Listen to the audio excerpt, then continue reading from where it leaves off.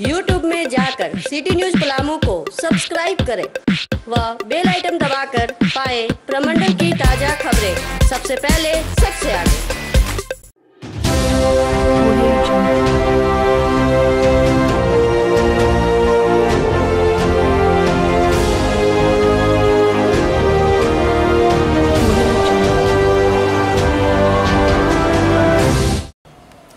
मोहम्मदगंज में दुर्गा पूजा महोत्सव को लेकर नवरात्र की प्रतिपदा तिथि को भव्य रूप से कलश यात्रा निकाली गई। कलश यात्रा विद्यालय परिसर स्थित पूजा स्थल से निकलकर स्टेशन रोड व मेन रोड से गुजरते हुए कोयल काशीसूत नदी के संगम स्थल पर पहुँची, जहाँ से वैदिक मंत्रोच्चारण के बीच श्रद्धालुओं ने अपने अपने कलश में जल भरा और पुनः माता के जयकारे लगाते हुए पूजा स्थल पर पहुँचे, जहाँ वाराणसी से पधारे कर्मकांडी विद्वान आचार्य पुष्पेंद्र पांडे के सानिध्य में लोगों ने नव दुर्गा के प्रथम स्वरूप शैलपुत्री की पूरे भक्ति भाव से पूजा आराधना की। और देश की सुख, शांति व समृद्धि के लिए कामना की। वह स्टेशन रोड, नहर चौक स्थित वन टच फ़ैशन रेडीमेड कपड़ा व्यवसायी द्वारा समिति सदस्यों के बीच पोशाक वितरण किया गया। मौके पर मौजूद सत्यनारायण सिंह ने कहा कि विजयादशमी को लेकर रामलीला का आयोजन भी किया गया है। उन्होंने रामलीला देखने के लिए बड़ी संख्या में लोगों से आयोजन में शामिल होने की अपील की है।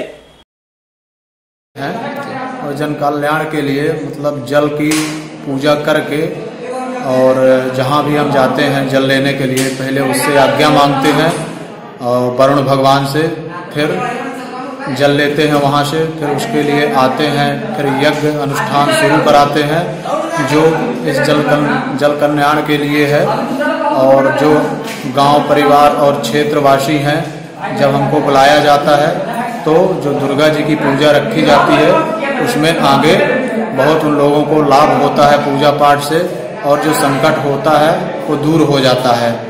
और इसको नौचंडी याग कहा जाता है, जो ये पूजा होती है, नौ दिन पाठ चलता है और नौ पाठ को नौचंडी याग कहते हैं इसको। और दुर्गा सप्तशती का पाठ बहुत ही महत्वपूर्ण होता है। सब संकट इससे मिट जाते हैं, चाहे संपुट पाठ हो, चाहे साधारण हो।